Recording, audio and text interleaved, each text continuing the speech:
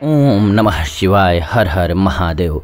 स्वागत है आप सभी के अपने इस यूट्यूब चैनल जीवन जीने की कला में। आइए आज के इस एपिसोड को स्टार्ट करते हैं और जानते हैं ऐसे तीन लोगों के बारे में जो दुनिया की कितनी भी बड़ी मुसीबत हो उसका सामना कर सकते हैं। महाभारत के शांति पर्व में पितामह भीष्म ने युधिष्ठिर को कई ज्ञान की बातें बताई थीं। ये बातें न कि सिर्फ़ उस समय में, बल्कि आज के समय में भी बहुत उपयोगी मानी जाती हैं। महाभारत में तीन ऐसे लोगों के बारे में बताया गया है जो किसी भी परिस्थिति का सामना आसानी से कर सकते हैं। जी हाँ आइए जानते हैं उन्हीं तीन चीज़ों के बारे में।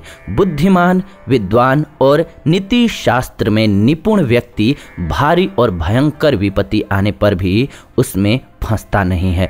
सबसे पहले जानते हैं, अब हम सभी बुद्धि के कमाल को, अपनी बुद्धि से ही पार की थी युधिष्ठिर ने धर्म की परीक्षा। जी हाँ महाभारत में दी गई एक कथा के अनुसार पांडवों के वनवास के दौरान एक बार खुद यमराज ने युधिष्ठिर की बुद्धिमानी की परीक्षा लेनी चाहिए। इसी उद्देश्य से यमराज ने यक्ष का रूप धारण कर लिया। यक्ष रूपी यमराज ने सरोवर के पास एक एक करके सभी पांडवों की परीक्षा ली, जिसमें पार न करने की वजह से युधिष्ठिर को छोड़ करके बाकी चारों पांडव सरोवर के पास मृत पड़े थे। जब युधिष्ठिर ने अपने सभी भाइयों को मरा हुआ पाया, तब यक्ष से उनको जीवित करने को कहा। यक्ष ने ऐसा करने के लिए युधिष्ठिर के सामने एक शर्त रखी। शर्त यह थी कि धर्म युधिष्ठिर से कुछ सवाल करेंगे और अगर युधिष्ठिर ने उनके सही जवाब दे दिए तो वह यक्ष उसने सभी भाइयों को जीवित कर देगा, यानी कि सभी भाई उनके जीवित हो जाएँगे। ऐसी विपरीत परिस्थिति में भी युधिष्ठिर ने अपनी बुद्धिमानी से यक्ष की परीक्षा पार कर ली और अपने सभी भाइयों को फिर से जीवित करा लिया। इसलिए कहते हैं कि बुद्धिमान मनुष्य अपनी सूझबूझ से हर परेशानी का हल निकाल सकता है। वो विचलित नहीं होता है, जो बुद्धिमान होता है। दूसरी बात, पहले ही कौरव वंश के विनाश की बात कह चुके थे, विद्वान विदुर। जी हाँ विद्वान लोग भी किसी भी तरह की परिस्थिति से बाहर निकल जाते हैं। कहा जाता है कि जब दुर्योधन का जन्म हुआ था, तब वह जन्म होते ही गीदड़ की तरह ज़ोर ज़ोर से रोने लगा और शोर मचाने लगा। विदुर महाविद्वान थे। उन्होंने दुर्योधन को देखते ही धृतराष्ट्र को उसका त्याग कर देने की सलाह दी थी।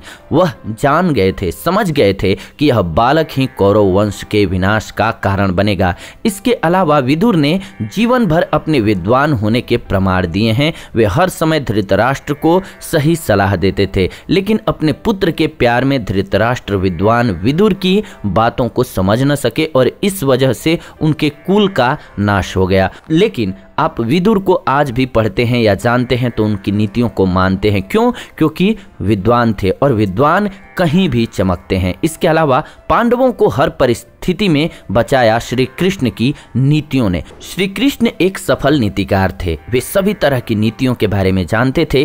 कौरवों ने जीवन भर पांडवों के लिए कोई न कोई परेशानियाँ खड़ी की। लेकिन श्री कृष्ण ने अपनी सफल नीतियों से पांडवों को हर वक्त सहायता की। अगर पांडवों के पास श्री कृष्ण के जैसे नीतिकार न होते तो शायद पांडव युद्ध में कभी विजयी नहीं हो पाते। उसी तरह से नीतियों को जानने वाले और उनका पालन करने वाले व्यक्ति के सामने कैसी भी परेशानी आ जाए, वह उसका सामना आसानी से कर लेता है। तो ये तीन गुण जो होते हैं, वो बहुत महत्वपूर्ण होते हैं और जिनके अंदर ये तीन गुण हो या इनमें से एक गुण भी पूर्ण रूप से हो तो वो हर तरह की परिस्थिति का सामना कर सकता है। ध्यान रख लें बुद्धिमान, विद्वान और नीति शास्त्र में निपुण व्यक्ति हर तरह की मुसीबत का सामना कर सकता है। तो इसीलिए ये तीनों चीज़ों का ज्ञान हमें ज़रूर लेना चाहिए। हमारे जीवन के लिए काम आता है। ये आज की वीडियो रही। ऐसी वीडियो आप सभी चाहते हैं कि आपको सबसे पहले मिले तो चैनल को सब्सक्राइब करके बेल नोटिफिकेशन को ऑन कर लीजिए, क्योंकि इसी तरह की वीडियो हम आप सभी के लिए लेकर के आते रहते हैं।